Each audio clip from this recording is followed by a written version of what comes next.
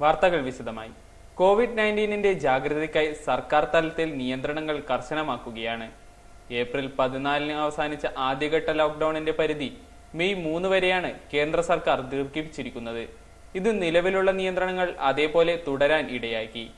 Covid മഹാമാരിയുടെ വ്യാപനത്തെ തുടർന്ന് രാജ്യത്ത് പ്രഖ്യാപിച്ച ലോക്ഡൌൺ തീയതി കേന്ദ്ര സർക്കാർ മെയ് മൂന്ന് വരെ നീട്ടി. രാജ്യത്തെ ഭൂരിപക്ഷം സംസ്ഥാനങ്ങളും ലോക്ഡൌൺ തീയതി നീട്ടണം എന്നാവശ്യപ്പെട്ടതിനെ തുടർന്നാണ് കേന്ദ്ര സർക്കാർ തീരുമാനം പ്രഖ്യാപിച്ചത്. മാർച്ച് ഇരുപത്തിനാലിന് പ്രഖ്യാപിച്ച ആദ്യ ലോക്ഡൌൺ ഏപ്രിൽ പതിനാലിന് അവസാനിച്ചതോടെയാണ് നിലവിലുള്ള സാഹചര്യത്തിൽ ലോക്ഡൌൺ മെയ് മൂന്ന് വരെ ദീർഘിപ്പിച്ചത്. ഇത് നിലവിലുള്ള സാഹചര്യത്തെ അതേപടി തുടരാൻ ഇടയാക്കും. കോവിഡ് പ്രതിരോധ പ്രവർത്തനത്തിൽ മികച്ച വിജയമുണ്ടാക്കിയ കേരളത്തിലെ സ്ഥിതിയിൽ സംസ്ഥാനത്തെ നിയന്ത്രണങ്ങൾ ഏതുവിധമെന്ന് അടുത്ത ദിവസം ചേരുന്ന മന്ത്രിസഭ തീരുമാനിക്കും. സംസ്ഥാനതലത്തിൽ ചില ഇളവുകൾ ഉണ്ടായേക്കാമെങ്കിലും അതിതീവ്ര സ്ഥലങ്ങളായി പരിഗണിക്കുന്ന കണ്ണൂർ കാസർഗോഡ് ജില്ലകളിൽ നിയന്ത്രണങ്ങൾ കർശനമായി തന്നെ തുടരാനാണ് സാധ്യത.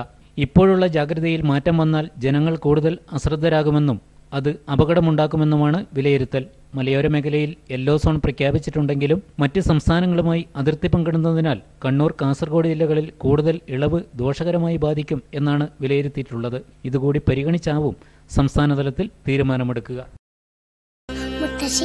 കൊടുത്തതാ? ഉം, മുത്തശ്ശിയുടെ അമ്മ കൊടുത്തത്. അപ്പൊ ഇത് ശരിക്കും മാറിയ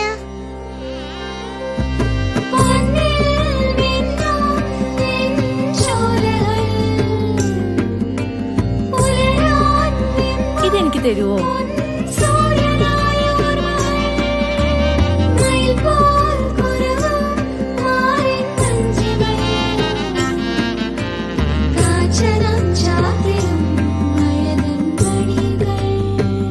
ചില ബന്ധങ്ങൾ പവിത്രമാണ്. കണ്ണും നിറയും മനസ്സും നിറയും. സ്വന്തം ജോസ്കോ ജ്വല്ലേഴ്സ്.